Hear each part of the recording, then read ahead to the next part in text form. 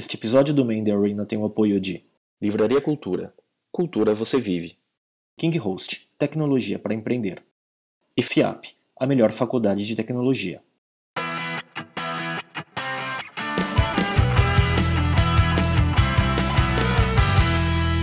Olá, esse é o Man the Arena, um videocast sobre empreendedorismo e cultura digital. Estamos aqui na Livraria Cultura, no Shopping Iguatemi, e eu sou o Miguel Cavalcante. Eu sou o Nichê e nosso convidado de hoje é o Felipe Matos, CEO do Startup Brasil. Além disso, Felipe também é fundador do Startup Farm, maior aceleradora digital da América Latina em número de empresas. Anteriormente, o Felipe já atuou como CEO, investidor, mentor e conselheiro de centenas de empresas aqui no Brasil. Ele começou a carreira aos 16 anos como uh, fundador de um primeiro site de acesso via celulares, o portal Girando App, e também foi fundador do Instituto de Inovação, que é um grupo empresarial que, fomenta o empreendedorismo no Brasil através de consultorias e uh, venture capital.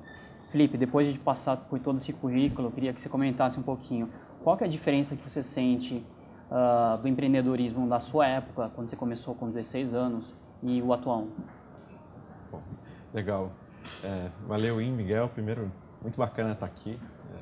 Eu já acompanho há um tempinho o Main da Arena, gosto de assistir e é bacana estar do lado de cá hoje.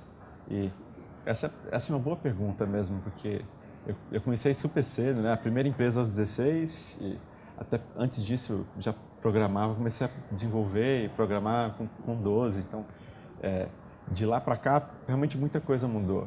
É, eu vejo que naquele momento o, o, empreendedorismo tecnológico no Brasil ele tinha várias barreiras para o empreendedor que, que queria começar, é, tanto do ponto de vista de educação e formação, né, a gente tinha muito poucas opções para esse empreendedor é, se, se preparar, né, e se de um lado a gente tem as nossas universidades formando bons gestores, é, o, as grandes empresas elas usam essas ferramentas de gestão que muitas vezes não se encaixam tão bem no momento inicial né, da, de, de startup. É, faltava, faltava bastante dinheiro também, quer dizer, o empreendedor que queria começar é, não tinha muitas opções de acesso a recursos, ou ele já tinha é, o, o patrocínio, né, o dinheiro da família, o dinheiro próprio para começar, ou era muito difícil, porque é, banco não era uma opção, ainda não é, né? a gente não tem é, esse tipo de crédito acessível. É, a gente tinha praticamente inexistente a figura do, do investidor anjo, né? que é aquele investidor que a, acredita na empresa no primeiro momento e fornece aquele capital inicial para o negócio é, começar. Pra vocês terem ideia, o, o, investidor anjo da minha primeira empresa ficou com 80% do negócio. É, e e ainda em, em, troca de um valor super baixo e que não estava exatamente muito definido. Assim. É, e, enfim, acho que esse ainda é um desafio do Brasil, mas a quantidade e a qualidade de investimento disponível, tanto de investimento anjo quanto de fundos de capital semente e até programas de governo, como o Startup Brasil, aumentou tremendamente né, nos, nos, últimos anos. É, a gente vê também é, mais programas de, de formação, é, seja é, como Startup Farm, Startup Weekend, ou mesmo universidades que estão trazendo para os seus currículos um pouco mais da disciplina do empreendedorismo, das metodologias de gestão de projetos em, em fase inicial. Né? É, e eu acho que ainda tem um terceiro elemento, que é esse elemento de cultura, né? É a cultura empreendedora. Né? É, é uma coisa, às vezes é difícil de explicar rapidamente o que, que ela é, quando você tem a oportunidade de conhecer alguns ecossistemas super maduros ou mais maduros, como o Vale do Silício, Israel, você entende como que os agentes desse ecossistema estão super integrados e colaboram e os empreendedores que foram bem-sucedidos nas primeiras gerações se tornam mentores, investidores nas próximas.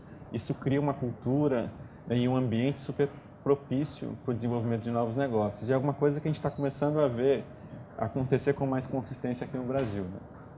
E você está conseguindo uh, aplicar alguns desses, desses aprendizados que você teve anteriormente no programa, agora no Startup Brasil e no próprio Startup Farm? O quanto disso realmente é, é possível? Né? Olha, eu acho que é, o tempo todo a gente está buscando aprender e aplicar esses aprendizados. É, o, o Farm é legal contar um pouco da, da história de como é que ele nasceu, né? É, e ele nasceu muito de muitas frustrações minhas é, como empreendedor e de problemas que eu enfrentei no caminho. É, depois de ter empreendido e, e ter tido alguns é, problemas, na verdade, minha primeira empresa, ela teve um super sucesso de mídia. É, a gente fez, hoje eu gosto de falar que foi o primeiro aplicativo, né? Era um site para ser acessado via telefone celular lá em 2000. A gente chegou a receber investimentos desse anjo que ficou com 80% do negócio. De repente a bolha da internet explodiu e a gente é, não tinha um modelo muito claro de receita, como muitos negócios naquela época e muitos negócios até hoje, é, principalmente em ecossistemas como é, o Vale do Silício, então pega o Facebook, o Twitter, o Instagram, todos começaram sem um modelo de receita, alguns não têm direito até hoje, né? É, e isso eu quebrei, né? e, a, e, a, gente acabou vendendo a empresa para um concorrente e tal. É, dessa experiência veio o Instituto Inovação, que nasceu como uma aceleradora, 12 anos atrás. E a ideia era ajudar outros empreendedores a criar seus negócios, é, cometendo menos erros. E a gente acreditava muito que é, um, esses empreendedores precisavam de conhecimento em gestão, relacionamento, acesso a capital, coisas que tradicionalmente o modelo das incubadoras não trazia muito, né? As incubadoras são super importantes, ajudam pra caramba. A minha empresa foi incubada e ela só chegou, gente chegou por causa da incubadora. Mas esse apoio ainda está muito voltado para a infraestrutura, né? Você tem uma sala, você tem um acesso à internet. É, e o empreendedor nessa fase ele precisa também é, não só do hardware, mas do software, né? É, e a gente tentou levar muito disso.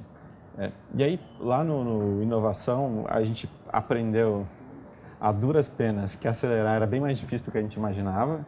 A gente achava que ia chegar é, no break-even das empresas que a gente apoiava com, com um ano, levou quase cinco. é, e, enfim, é, a gente precisava correr atrás de capital para essas empresas, desenvolver produto, validar uma série de coisas. É, tem aí o, o, aspecto humano, que eu acho que sempre é um dos, um dos mais importantes, mais difíceis também, que é lidar com os os egos, os dramas dos empreendedores, empreender é uma montanha russa de uhum. emoções, né? É, e, e aí a gente escalou, tentou escalar esse modelo depois virando fundo de venture capital, né? Com, com o Criatec. E aí um dado super interessante, o Criatec nasceu em 2007, foi um dos os primeiros fundos de capital semente do Brasil, maior durante muito tempo, no fundo de 100 milhões. É, e lá a gente fez 36 investimentos e avaliou duas mil empresas. E 80% dessas duas mil empresas eram empresas de TI, de, ligadas à internet, à tecnologia. Mas das 36 que o fundo investiu, tem três de internet. Tinha, tinha, um gap enorme entre quem buscava investimento e quem conseguia. Uhum.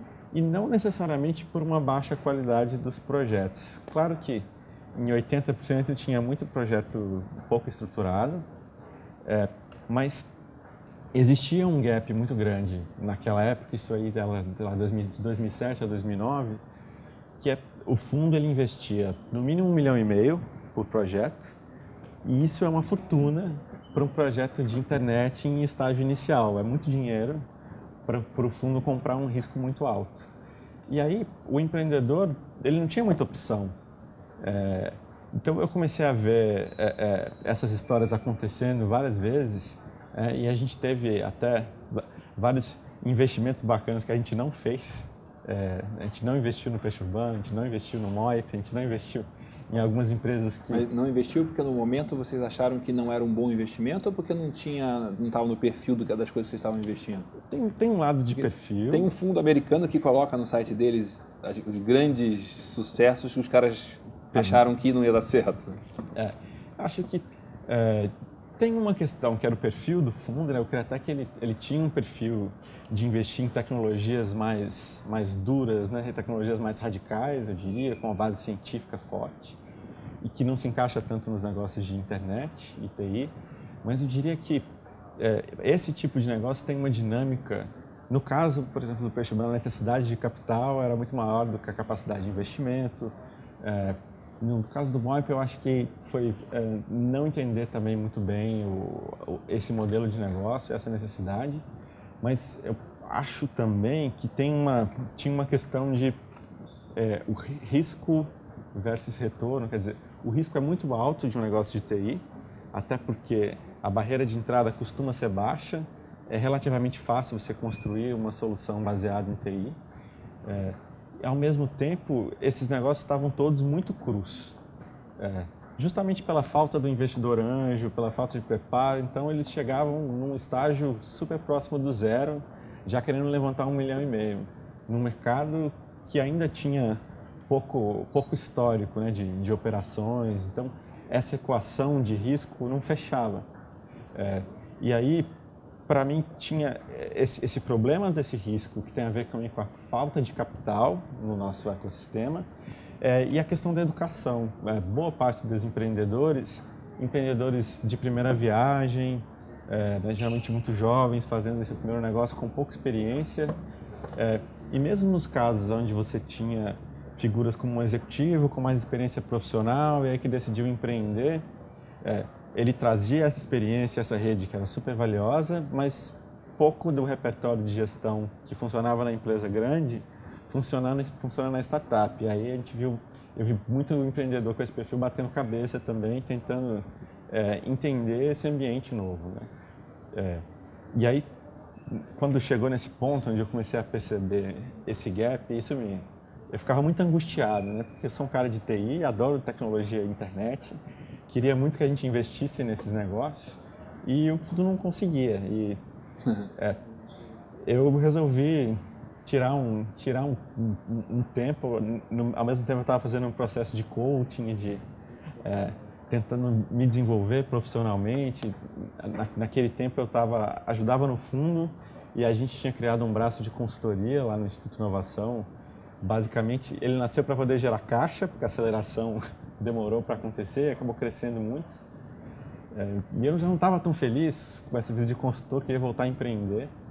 É, e percebi que tinha esse gap no Brasil. E aí eu parei tudo, peguei um avião, fui para o Vale do Silício, fiquei quase dois meses lá e fui tentar entender como que funcionava essa dinâmica de ideia, investimento, empresa de sucesso no, no, lugar onde isso mais funcionava no mundo. Né?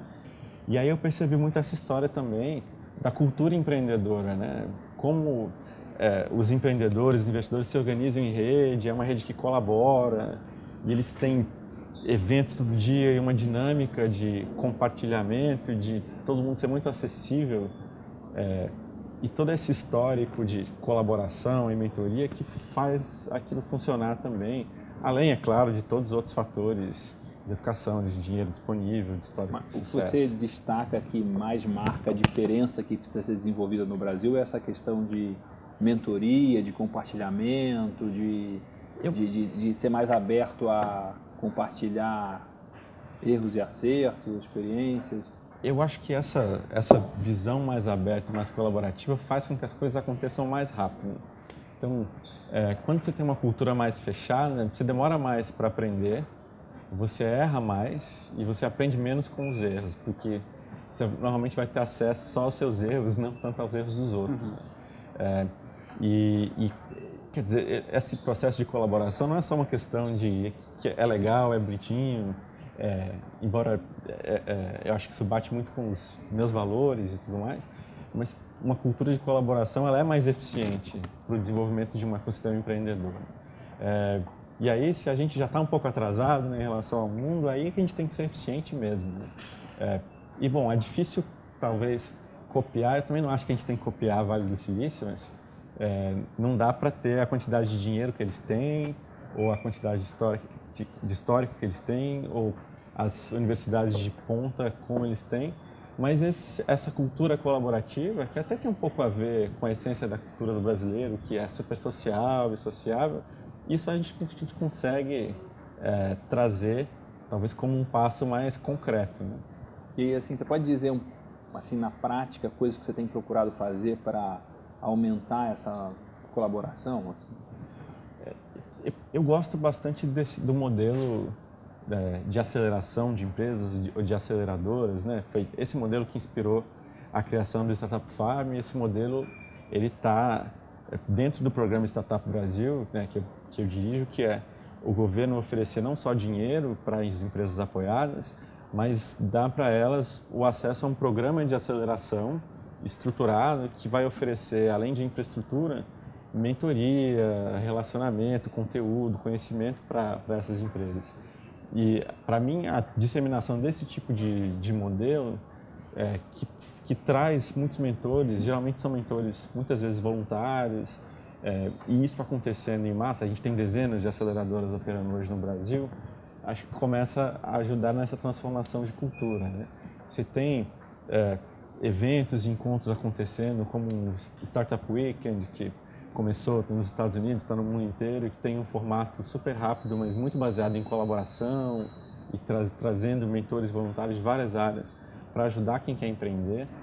É, e, enfim, é, conteúdo como esse aqui do Main Arena, que gera conhecimento e disponibiliza isso gratuitamente para um monte de gente ter acesso, quando a gente começa a juntar todas essas iniciativas, a gente começa a fomentar um pouco mais essa cultura. Né? Interessante. E, assim, por conta desse, dessas várias passagens aí, né, Estudo da Inovação, Friatec, Startup Farm, é, você já viu muita coisa dar certo, muita coisa dar errado e teve muito contato com o que que, o que, que você tirou de aprendizado, assim, de, de erros e acertos desse processo todo, assim? Bastante coisa, dá para escrever alguns livros. é, eu acho que, bom, tem, tem alguns elementos que eu acho que são importantes para quem quer empreender. O primeiro é que a gente costuma é, subestimar o aspecto humano dos, dos negócios. Tem é, até uma pesquisa bacana que foi feita pelo pessoal do Startup Genome, né? E foi identificar quais as causas de falha das empresas, porque as empresas quebram, né? E 60% das causas que eles identificaram tem a ver com aspectos das dinâmicas humanas das relações entre sócios, empregados que são aspectos que poderiam ter sido evitados é, trabalhando melhor essas questões. Então, eu vejo que é, muitos empreendedores acabam deixando combinados não muito bem combinados. Mas, é, mas isso ou... aí é uma questão de autoconhecimento, de gestão de pessoas, de coaching. Como é que a gente poderia atacar essa questão aí de essa causa morte de 60%? Acho, acho que é, o caminho é mesmo, mesmo por aí. Tem, tem muito a ver com autoconhecimento mas é, tem uma questão individual, né? Eu me conhecer como empreendedor e saber no que eu sou bom, no que eu não, que eu não sou bom, o que eu preciso, mas é principalmente o autoconhecimento do, do grupo, né? Daquele grupo de fundadores. É muito comum, eu já vi isso acontecer várias vezes, visões diferentes de fundadores, um quer ir para um lado, outro quer ir para o outro, e dá briga, ou enfim, a, a empresa acaba não indo para uma direção só, porque cada um está olhando para um lugar. Às vezes é uma questão de ego, de é, as, os papéis não estarem muito claros, e aí você tem sobreposição de papéis, e isso gera um conflito que acaba, é, acaba fazendo a empresa gastar energia para resolver um conflito que ela mesma criou, ao invés de resolver os conflitos com o mercado, que já são por si só enormes, é né? E já difíceis o suficiente. E o conflito interno não gera faturamento nenhum, né? Exatamente.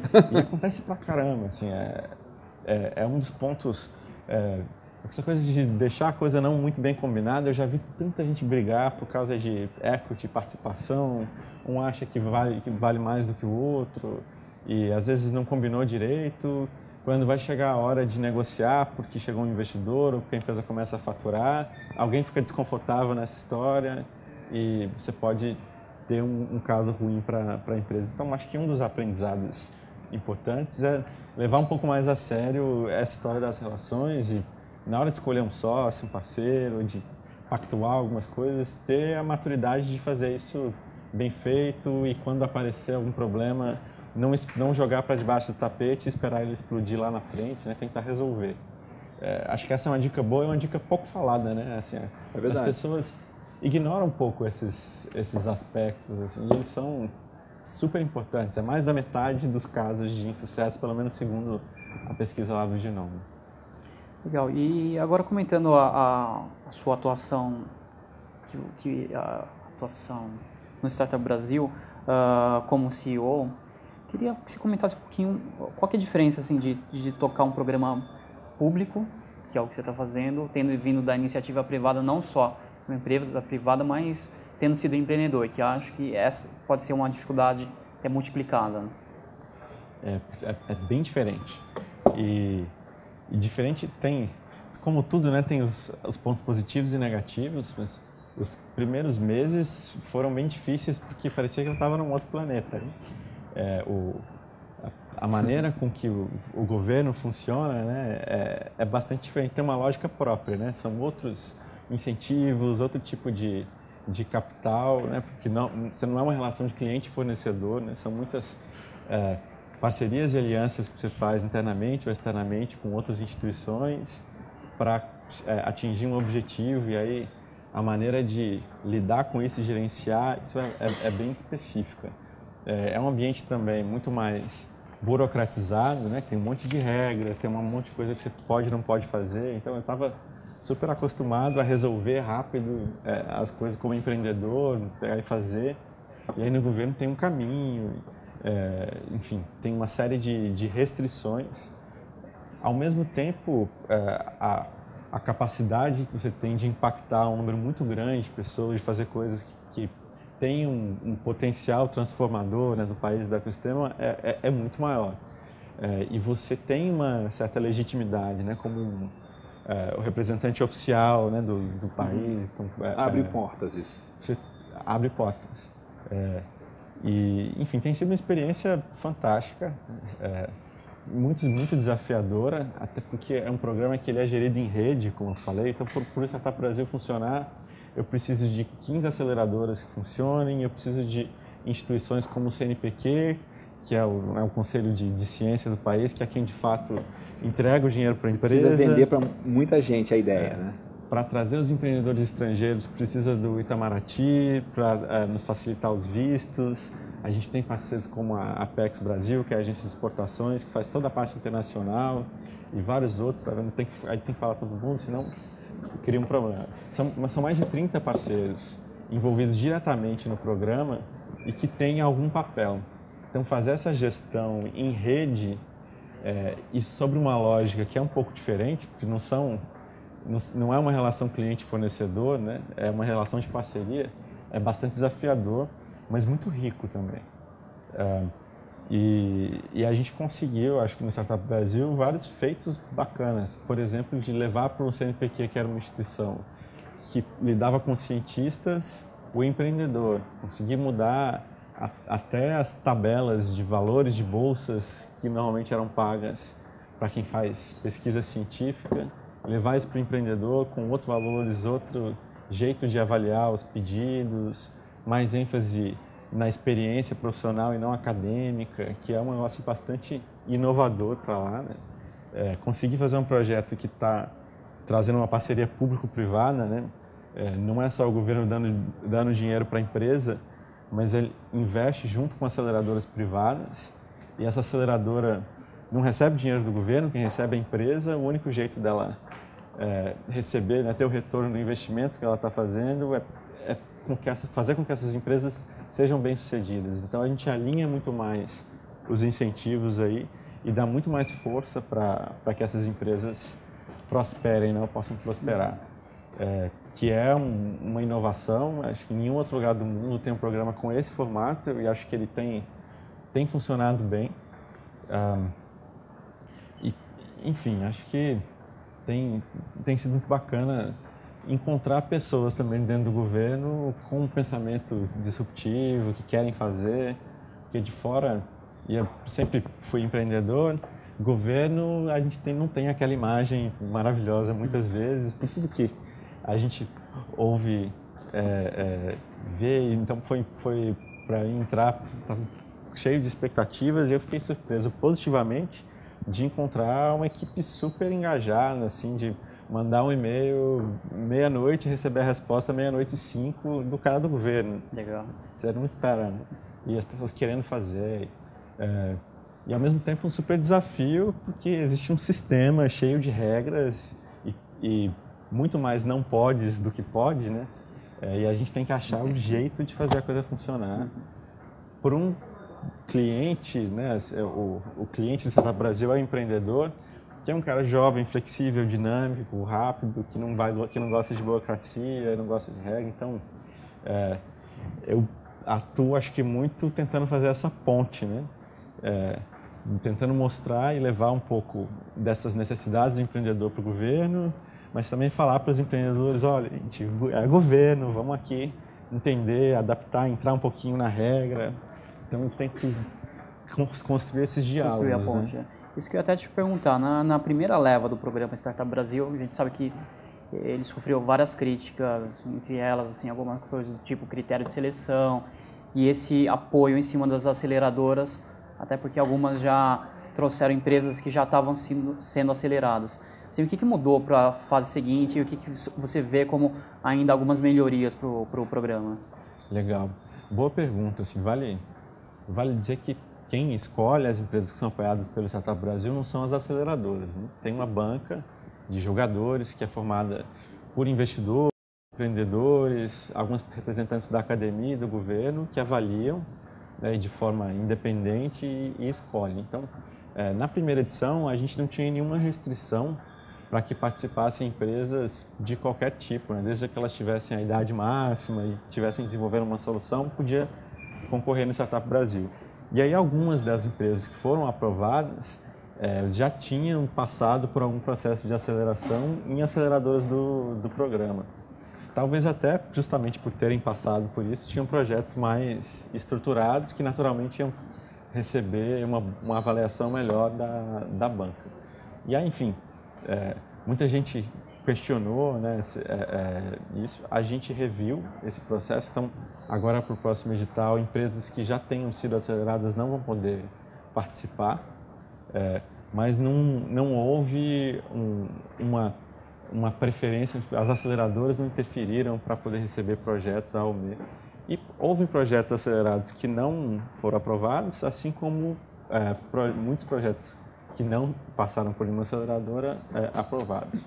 É, bom, aí falando sobre as mudanças, a primeira delas é que a gente não vai mais permitir que empresas que tenham passado é, por um processo de aceleração sejam apoiadas por aquela mesma aceleradora é, de novo. É, um outro ponto que, que a gente vai, vai fazer é aumentar o, o, a idade mínima da empresa para participar. A gente teve muito, muitos casos de empresas Qual é a idade que, máxima? É, a, idade máxima, aliás. Né? A idade é, era três anos na primeira edição, na segunda edição a gente subiu para quatro. Muito mais porque é, a gente teve muitos casos de empresas que tinham um primeiro produto que não deu certo, aí começaram um novo. E o produto era novo, mas a empresa era velha.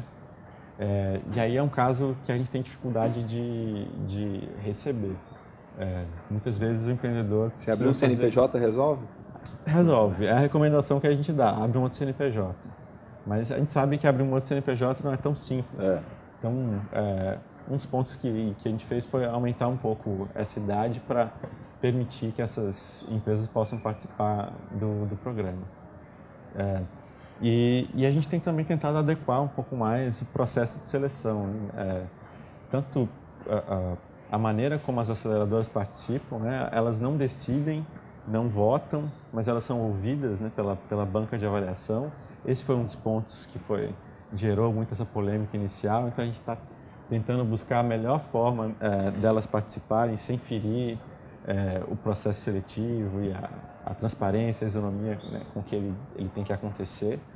É, e, e muito do, de como a gente faz o apoio também. Né? Tem sido um aprendizado para todo mundo, né? para a gente, para as empresas, para as aceleradoras.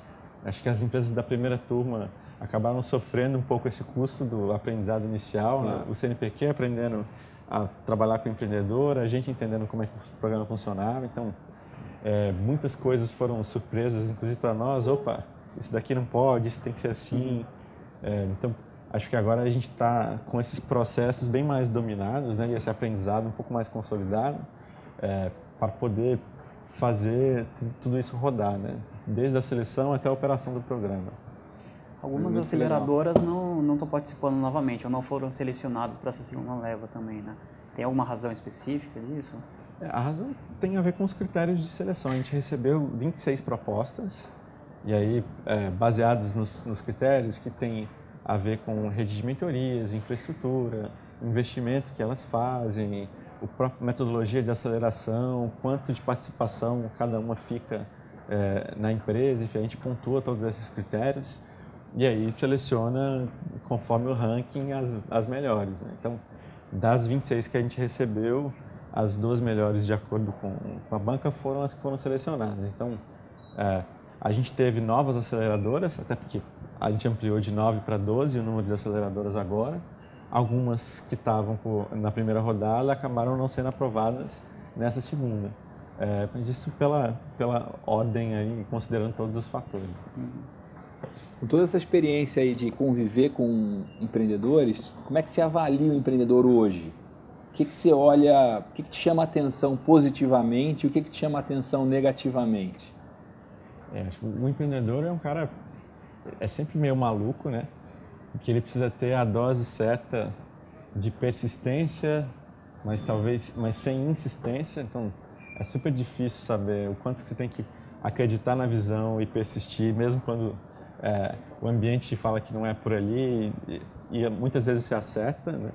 É, e até que ponto você precisa, peraí, eu tô, tô sendo insistente em um negócio que não faz sentido, preciso mudar, né?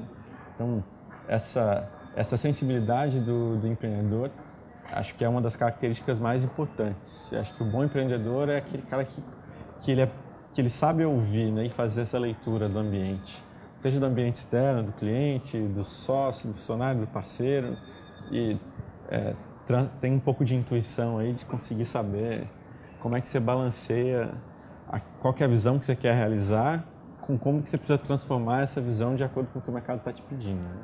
o que é uma habilidade super difícil.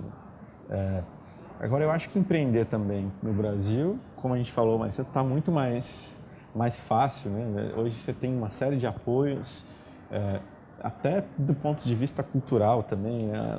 Há um tempo atrás, o empreendedor era o louco, né? E a gente está chegando é, no momento onde o empreendedor é um herói. Né? A gente é, valoriza os, os, empreendedores, as histórias de sucesso de empreendedores que estão chegando lá acho que a gente está começando a entender mais essa questão da falha também, né? Tem é, um estigma de que falhar é, é, ruim e acaba com a carreira de alguém que deu errado, que quebrou, por exemplo. A gente começa a mudar um pouco essa percepção. Né? Então, eu sou, sou super otimista. Assim, acho que a gente está caminhando e é fácil olhar para isso se a gente pensa em 10 anos atrás, o que a gente tinha. Né? Acho que tem o desafio é enorme, mas a gente está tá caminhando. Então, tem alguma característica que acende a luz amarela, assim? Cara, tem. Para mim, o, é, aquele empreendedor. Ele não ia falar, mas eu perguntei de novo. Ele passou assim, batido. Mim, é, assim, empreendedor cabeça dura, arrogante. É, no sentido de que é aquele cara que não, não ouve, né? É, e aí, por isso que eu volto a dizer essa característica do empreendedor ouvir. E é diferente você ser cabeça dura, insistente, de você ser persistente, quer dizer, tá lá buscando O limite é muito tênue nesse é. negócio. Na diferença, então, você só vai saber daqui a alguns depois anos. Depois que deu né? certo ou errado. Deu errado. E, e, eu vou aproveitar isso até para fazer a próxima pergunta, né? Que vendo uma das apresentações suas no slide share, tinha lá, você tinha uma frase, né? Não tenha medo de pivotar, mas tenha um eixo. Que é exatamente isso, né? Tipo, quando que até quando você está persistindo e quando que virou teimosia ou burrice, né? Essa pergunta é ótima também. Eu acho que, que essa história de, de, pivotar, ela tem, tem o lado bom e o lado ruim. Pivotar é um jeito bonito de falar que deu errado e tem que é, mudar de rumo. é você né? mudar algum elemento, alguma coisa do, do, seu modelo de negócio, não deu certo, pivota. Mas é diferente de quebrar. Então, você tava, claro. ia abrir sei lá, um, um e-commerce de, de beleza, não deu certo, aí você monta um marketplace para beber. Você não pivotou, você fechou um negócio e abriu outro. É, e tem gente que acha que até usa errado esse, esse conceito, porque o pivô, ele precisa... É, vem um pouco do inglês essa coisa do peão, ele tem um eixo, né? Então você vai variando as coisas em torno de, de, de um eixo. E normalmente é um problema que você quer resolver. Né? Então você tem é, um problema das mães que não têm tempo, querem o, cuidar dos o filhos. O Flickr não seria um pivô, então? Não. O, o que, que não seria? O Flickr. Sim. Que começou como uma comunidade de jogos e virou uma, uma negócio de, de fotos. Ah, não foi um pivô, foi é. uma transformação é. do negócio. Por acaso, de repente manteve o mesmo nome tá né, e tal. Mas, é, pelo menos para mim, o pivô tem a ver com você tem uma, uma visão, uma missão, um problema que você quer resolver e você monta um, uma estratégia para resolver. Vou criar esse produto, vender desse jeito, com esses canais, e aí de repente esse caminho não dá certo. Você pivota e tenta resolver o problema de outra forma. Mexe o produto, muda o cliente, muda o parceiro, troca o preço, troca o jeito de vender, mas você ainda está em torno daquele problema. Se ele mudou completamente, não é mais um pivô, você está trocando de negócio. E tudo bem, trocar de negócio vale. É justo, né? É justo. Mas é, eu acho que falta um pouco também esse, esse entendimento. É, e e para mim, uma característica super importante do empreendedor, continuando nesse papo, é, é, você, é, o, é, é essa visão, essa paixão, é, esse senso de propósito né, por trás do que você está fazendo. Né? É, eu vejo que muita gente às vezes acaba empreendendo pelos motivos errados. Né? Nada contra, enfim, a motivação de cada um, mas acho que Bom, ganhar dinheiro é bacana, é, é bom, todo mundo quer, e acho que o empreendedorismo é um caminho de ascensão social, mas se esse é o único objetivo, talvez tem outros caminhos mais legais do que ser, do que ser empreendedor, até é, com chances maiores de se conseguir com, com menos esforço. É, se você não está fazendo alguma coisa que faz sentido para você, né, que te realiza de alguma forma, que resolve um problema, que tem um Isso propósito... tem muito a ver com autoconhecimento também, né? É, a coisa é, é, se perde, assim. Eu vejo muita gente tentando flipar, né, surfar a onda, é, e acho que isso é um pouco perigoso. É, é, acho que vale a pena entender para que, que você está fazendo, porque o caminho é tão difícil, são tantos obstáculos, que se você tiver a motivação errada, vai ser muito fácil cair pelo, pelo caminho. É legal você falar isso porque tem a ver com o que você falou no início da conversa do Startup Genome de brigas internas que tem a ver com autoconhecimento. Né? Então, se a pessoa não sabe né, autoconhecimento para tentar identificar que negócio que ela vai querer construir e também autoconhecimento para conseguir gerenciar né, os atritos e, e relações. Mas é, falando em pivô, você tem algum pivô que você acha um exemplo bacana para dar, assim, prático? Pode ser, não precisa nem ser brasileiro. Pô, tem, né? Tem, tem, tem vários. Só para, acho que é o primeiro que, que me vem é, que é o caso que é, famoso até, do, o Thales da Exitac, já teve aqui, ele, ele fez Startup Farm e tal. E quando ele chegou lá, ele queria resolver o problema lá do táxi, chamar táxi é um saco, uma porcaria, é ineficiente, né? E o produto, ele estava desenhado para fazer isso, tendo como principal cliente as cooperativas de táxi. Então, ele falou isso, né? As cooperativas iam ser as clientes que iriam pagar para ter um sistema melhor, então vamos trocar o telefone pelo aplicativo. E aí, lá na Farm, fazendo o trabalho de, de Customer Development, né, entrevistando cliente, falando com o taxista, eu lembro que ele foi no churrascão dos taxistas, ficava no posto do gás, conversando. A gente começou a entender e falando muito com as cooperativas, a gente falou, cara, a oportunidade é muito maior para aquele cara que não está cooperado, é, que ele teria que pagar caro para se, se cooperar, ele está à margem ali, ele quer, é, enfim, a barreira de entrada para ele vai ser muito menor. E aí teve esse pivô, né? mudou o cliente, é, o problema era o mesmo, foi um elemento no modelo de negócio que fez muito sentido e fez toda a diferença para a empresa. Acho que é um caso legal de, de um pivô que foi importante ali no, no canal né, e no, na principal fonte de, de cliente. Legal. E o Easytax passou pela avaliação do Criatec? Não. Não passou. Na, na época, o Criatec já tinha fechado o, o período de, de avaliação. Beleza, até, investimento, né? até pegando esse gancho, o, você estava comentando do Criatec no início que ele tinha um, algumas estratégias, algum, alguns modelos mais fechados. Como que ele mudou ao longo do tempo isso? Ele também chegou a aprender ou se adaptou? Acho que sim. É, Talvez eu não seja a melhor pessoa para falar sobre o Criatec, porque embora tenha sido um dos fundadores e tal, eu não participei tanto da operação dele. Né? É, mas eu diria que foi um super aprendizado de como é que você seleciona é, e escolhe as empresas e principalmente como é que você acelera. Né?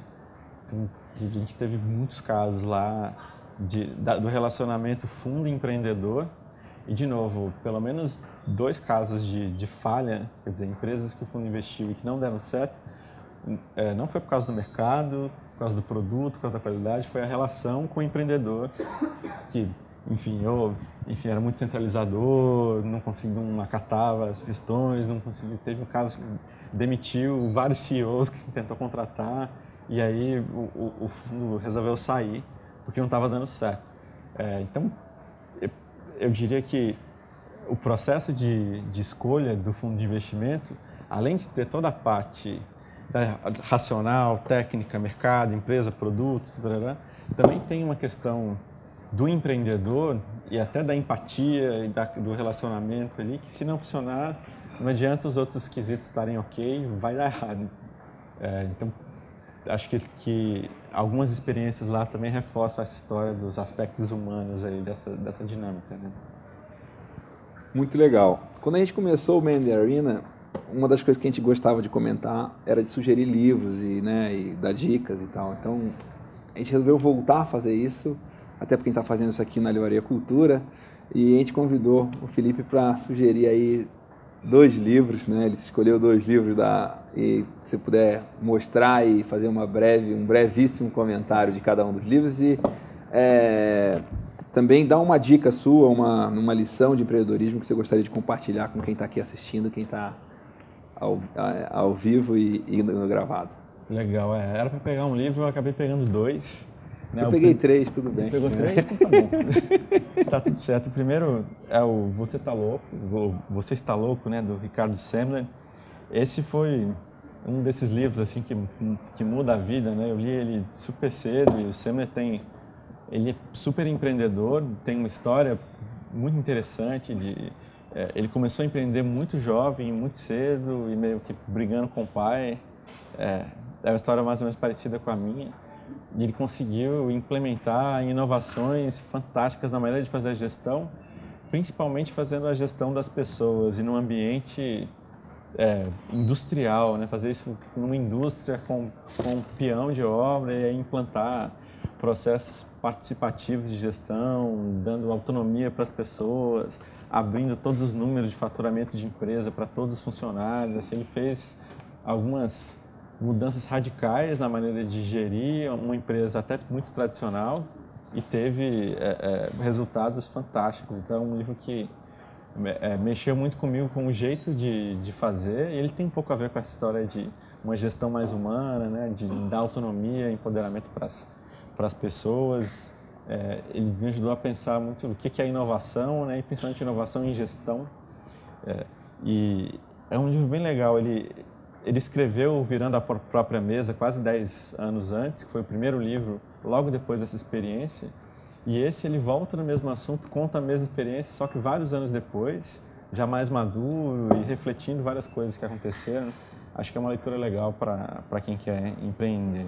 E, e fazendo um adendo desse livro e desse autor, ele provavelmente é o brasileiro é, mais respeitado como autor nos Estados Unidos em livros de negócios. Tipo, eu já conheci caras muito legais nos Estados Unidos que falam, não, o livro mais legal que eu já li foi Mavericks, que é Virando a Própria Mesa. Primeiro tem um monte de coisa, cara, tipo, o cara aqui na, mora no, no é, na, na, Califórnia e o livro que impactou a vida dele foi o livro do Ricardo Semmer, né?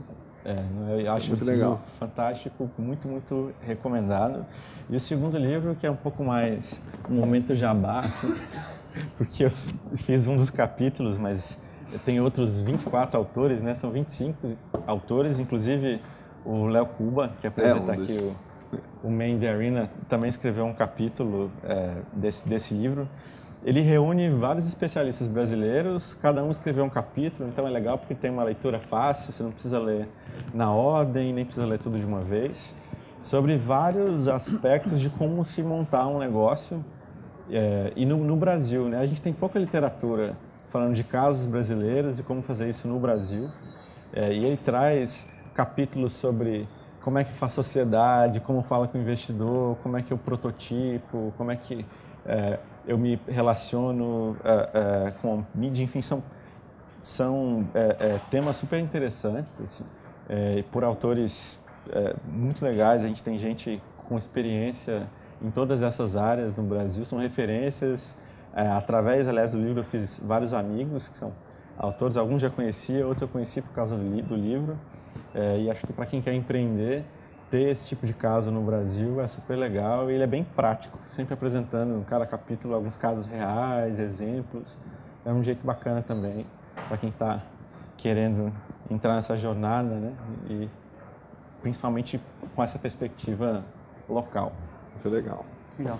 Miguel, Fala como, você, como você que você é vai apresentar três e eu vou fazer só um, vou fazer na sua frente. Tá bom. A indicação é um livro que eu realmente acabei de ler, The Everything Store, sobre a montagem da Amazon. Assim, não é só sobre o meu viés de e-commerce, mas o que é interessante nesse livro, ele conta muito de alguns métodos, algumas estratégias de gestão do próprio Bezos, então você também começa a entender muito do que é o reflexo da empresa, por que ela age, e uma das coisas que assim a gente até fala diversas vezes aqui no, no próprio programa é, é o foco ferrenho em cima do cliente.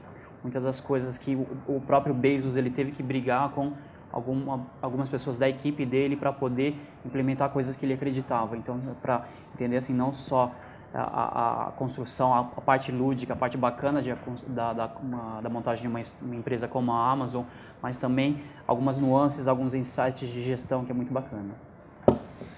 Muito bom. Para eu encerrar, eu vou falar Encerrar de três, três. três livros aqui que eu. to- Quem me conhece sabe que eu gosto muito de livro e tem uma. é, infelizmente eu, eu sou mais rápido para comprar do que para ler, mas é, esses três aqui eu li. É, o primeiro que eu vou indicar é esse Unlabel, que é a história, uma autobiografia do Mark Echo. É, eu não sou cliente da marca, mas li, li esse livro é, e é uma história de um cara que criativo, artista, que constrói um negócio muito grande e ele fala muita coisa de autoconhecimento, de fracasso, de teimosia, né? Tipo, tem um momento que ele quase quebra é, porque ele ficou fixado num negócio. Então, assim, é uma história bem bacana e um negócio bem moderno que eu gostei muito. Esse aqui foi dos últimos livros que eu li, que em inglês chama Mastery, em português é Maestria, que é um cara que ficou famoso, Robert Greene, por escrever livros sobre poder e sobre é, leis da guerra e tudo mais. Ele fez um estudo muito grande com pessoas de grande sucesso e fez um mapeamento. Então tem desde o Paul Graham é, até a Temple Grandin, que é uma pessoa que estudou bem-estar animal, que é da minha área.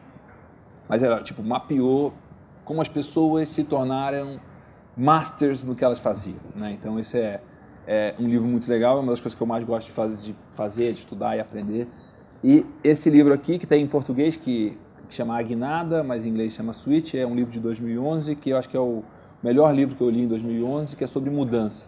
Né? E o subtítulo acho que explica muito bem, que é como mudar quando é difícil mudar. né? Então ele tem um monte de estudos e experimentos e dicas de como fazer mudança na sua vida, nas coisas que você quer mudar, de uma forma muito bacana. E acho que uma das coisas mais práticas do livro, desse livro, é tipo é você criar sistemas e mecanismos que façam que seja mais fácil fazer o certo do que fazer o errado.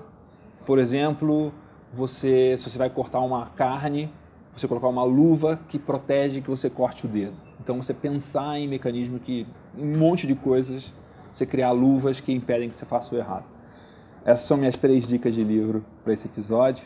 É, você quer encerrar dando a sua lição de empreendedorismo e a gente encerra nosso episódio com tanta conversa e tanto aprendizado aqui com Puxa, você. legal. Acho que esse é o Man da Arena com mais livros. Com certeza. Disparado. É, é, o que é bom, né? É, acho que a minha lição de empreendedorismo tem, tem um pouco a ver com, com tudo que eu falei, mas para resumir, acho que é empreenda com propósito, é, cuidado com as, com as relações, né? E, e não tenha medo de mudar, mas faça as mudanças conscientes para fazer o link com o Switch. Muito bom, muito obrigado, Felipe. Muito obrigado a vocês. Esse é o Man Arena e até a próxima.